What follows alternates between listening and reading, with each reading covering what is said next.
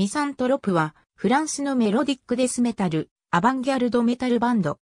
フランスのデスメタルバンドの中でも1980年代後半から活動するベテランで最古参バンドの一つである。1988年に SIS ドゥラルジリエールを中心に結成。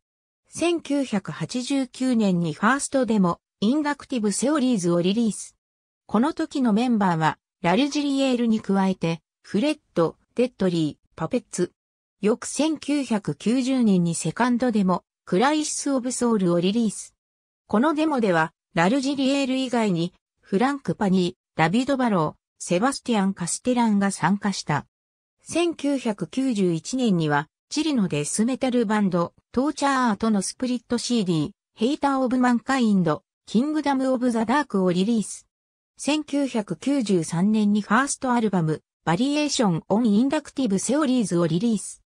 このアルバム時点で、ラルジリエール以外のメンバーは、総入れ替えとなっており、シャルル・アンリ・モレアック、ジャン・ジャック・モレアック、オリビエ・ゴベールがメンバーとなっている。1994年にセカンドアルバム、ミラクルズ、トーテム・タブーをリリース。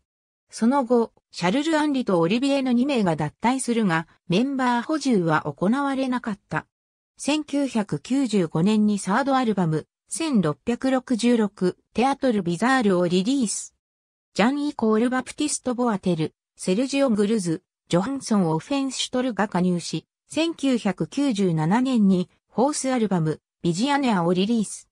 同アルバムは、放題、古代妄想者として日本でもリリースされた。セルジオとジョハンソンが脱退し、アレクシ・フェリッポが加入。1998年にフィフスアルバム、リバティーン・ヒューミルシャンズをリリース。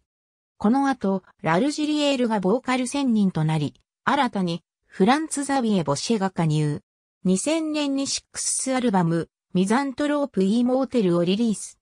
同アルバムは、フランス国外では、イモータル・ミザントロープとしてリリースされた。リリース後、フランツ・ザビエとアレクシが脱退。ガーエル・フェレットが加入。また、ギタリストのジャン・イコール・バプティストがサンプル専任となり、新たにアンソニ・シマーマが加入。2003年にセブンスアルバム、サディスティック・セックス・デーモンをリリース。2005年にジャン・イコール・バプティストが脱退。同年にはエースアルバム、メタル・リーロンをリリース。2008年にナインスアルバム、イリミディウブルをリリース。